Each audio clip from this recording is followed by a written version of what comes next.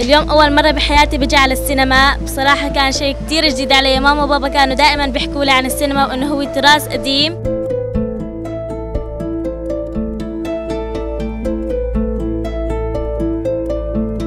يعني أنا هلأ صار عمري 81 سنة.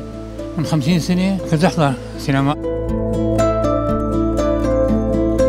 تم تشييد هالمكان من فترة قصيرة بفضل جهود أهل البلد.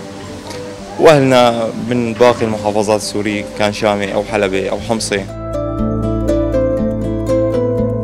كنت أحضر سينما أنا وأصدقائي وأولاد عمي وقرايبينا وهاي كنت أحضر يعني. بس مو كثير يعني قليل يعني ما إنه كل ما إجا فيلم حضروه بطولة يعني.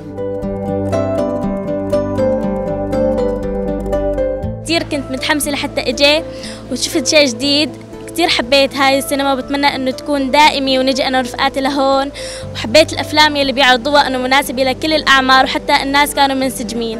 لا مناسب كتير لأنه شيء كتير جديد وهيك بساعد المنطقة على التطور.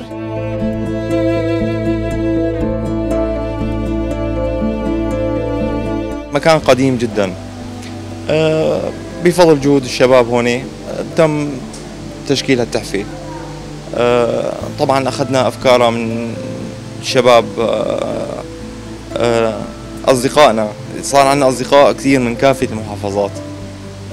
وكل مين حط لمسته لحتى تشكل هالهيكل هذا اللي شايفينه قدامكم.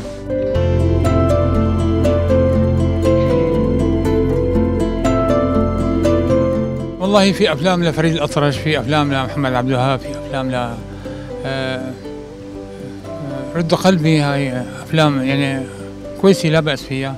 كنا نحضرها. وكان عندنا سينمتين هون هاي قدم سينما في ادلب وفي سينما بساحة البازار. هاي آه، ما صار لها يعني تمت بيجي سبع ثمان سنين عشر سنين وبعدين سكرت. تمت هاي السينما والتقوا السينمات كلياتهم. عندنا في ادلب وغير ادلب تجمع الأصدقاء تجمع المحبين تجمع الأهالي بتعمل هاي وخاصة وقت بيكون السينما فيها موجود عائلات مثلا رجال هو زوجته رجال هو خطيبته رجال هو هيك. هو المكان مؤسس آه، كسينما سابقا. هو المكان الوحيد بالبلد.